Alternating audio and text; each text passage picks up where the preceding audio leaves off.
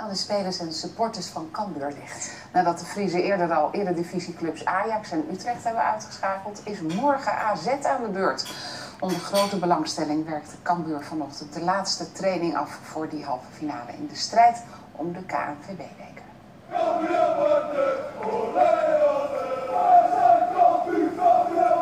Het is een goede ploeg. We kunnen van iedereen winnen.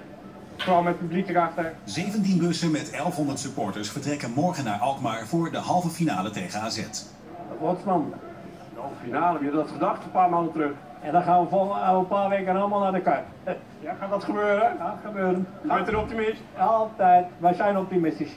Een 2-1 overwinning op Ajax en een zenuwslopende zege door middel van penalties op Utrecht. De Friese club uit de Jupiler League is de grote verrassing in de strijd om de KNVB-beker. Cambuurspeler Martijn Barto is ook een van de topscorers in het bekertoernooi. En dan is het Barto die er 2-1 van maakt. Er staat Cambuur voor. Kan je nog over straat hier?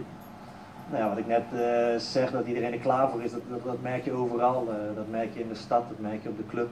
Dat op zich kan je natuurlijk prima over straat, maar je wordt er wel uh, dagelijks aan herinnerd dat er morgen wat, wat op het spel staat. En dat je toch wel even alles moet geven om, om die wedstrijd binnen af te sluiten.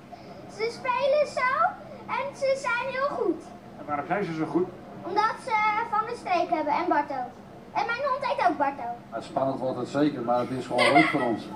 En als we het niet redden, nou hartstikke jammer, we hebben een leuk toernooi gehad. Zo nuchter hè, niet zo fris. Nee, maar dat is, nee, maar dat is toch gewoon zo. De andere halve finale tussen Sparta en Vitesse is vanavond om 8 uur te zien op Veronica.